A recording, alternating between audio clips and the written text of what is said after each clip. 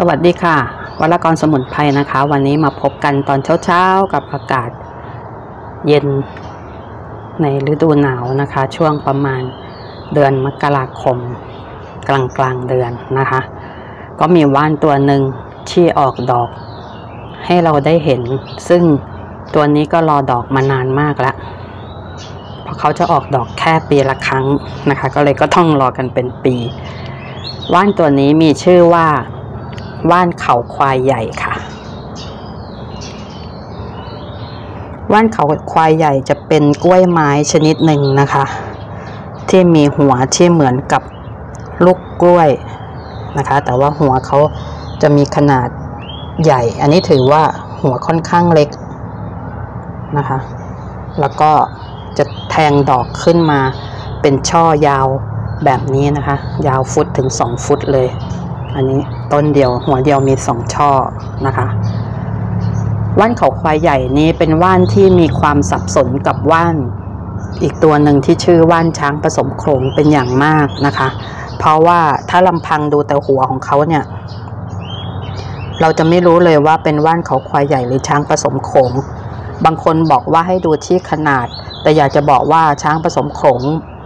บางต้นก็หัวใหญ่ เท่ากับหัวของเขาควายใหญ่ขนาดนี้ก็มีนะคะ แต่เขาควายใหญ่จริงๆนี่จะใหญ่มาก ใหญ่กว่านี้อีกสักสองเท่าสามเท่าได้นะคะ เพราะฉะนั้นถ้าตอนที่ไม่ออกดอกเนี่ย เราจะไม่มีทางแยกออกเลย อันนี้ลองเทียบให้ดู ลักษณะเขาจะเหมือนกันเปียบก็คือมีหัว วางอยู่บนดินนะคะรากเขาจะลงดินผิวๆน้อยๆ เวลาที่เราไปเจอในป่าธรรมชาติเนี่ย เราก็จะเห็นหัวตั้งอยู่ตามโขดหินแผ่นหินนะคะ เขาจะมีรากที่ลงดินไปนิดหน่อยค่ะ แล้วก็ใบเนี่ย จะเหมือนใบข้าวคือเหมือนกันเลย เขากวางเขากวางอ่อน เขากวางใหญ่ก็เหมือนกันนะคะว่านเขากวางใหญ่ก็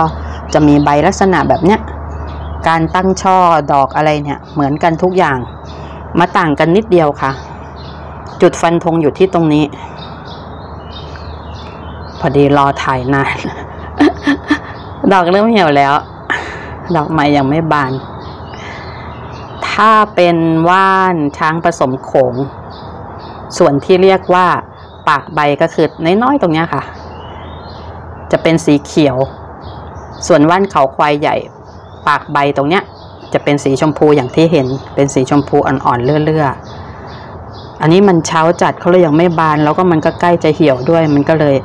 อาจจะเห็นไม่ชัดนัก แต่นี่คือจุดฟันธงนะคะสำหรับคนที่ไม่อยากที่จะยึดแค่ขนาดของหัวว่านเป็นเกณฑ์ แต่จริงๆ คือถ้าเห็นหัวใหญ่มากๆเนี่ยให้สงสัยไว้เลยว่าน่าจะเป็นว่านเขาควายใหญ่ แล้วก็มารอลุ้นดอกกันตอนช่วง ธันวามกรากุมภาต้นที่สวนอีกต้นหนึ่งก็รู้สึกออกดอกมาตั้งแต่เดือนธันวานะคะ ก็ไปลุ้นสีดอกกันตอนนั้น ว่าจะออกมาเป็นเขาควายใหญ่หรือเป็นว่านช้างผสมโขงนะคะ เพราะฉะนั้นจุดแยกกันก็คือจุดที่ตรงจุดนี้ค่ะปากดอกจะต้องเป็นสีชมพู นี่คือเขาควายใหญ่นะคะสรรพคุณของเขาควายใหญ่นี้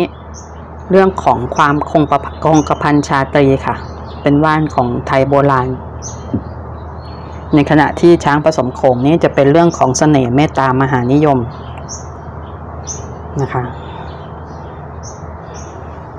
ก็มีสรรพคุณที่ต่างกันเพราะนั้นเราก็เลยจำเป็นที่จะต้องวิเคราะห์แยกแยะว่านสองตัวนี้ออกจากกันให้ได้นะคะ ด้วยการยึดสีของกลีบดอกเป็นหลัก การปลูกก็อย่างนี้ค่ะ ปลูกให้หัวพ้นดินขึ้นมาแบบนี้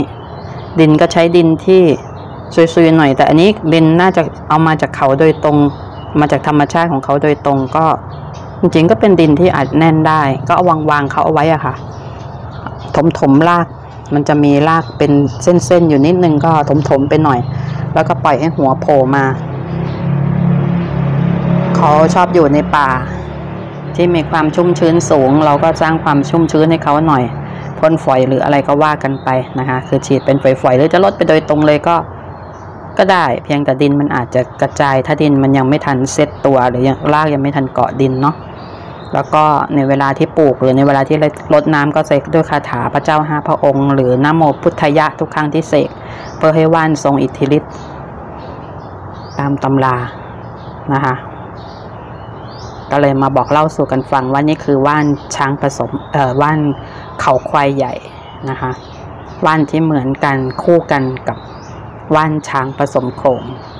วรกรสมุนไพรก็จบการนำเสนอเรื่องว่านสายคงกระพันต้นนี้แต่เพียงเท่านี้นะคะ ชอบกดไลค์ใช่กดแชร์อย่าลืมกด subscribe กดติดตาม ใครมีความรู้ความคิดเห็นอะไรดีๆ ก็แลกเปลี่ยนกัน คอมเมนต์กันเข้ามานะคะ เราจะตอบทุกคอมเมนต์ค่ะ ขอบคุณมากค่ะ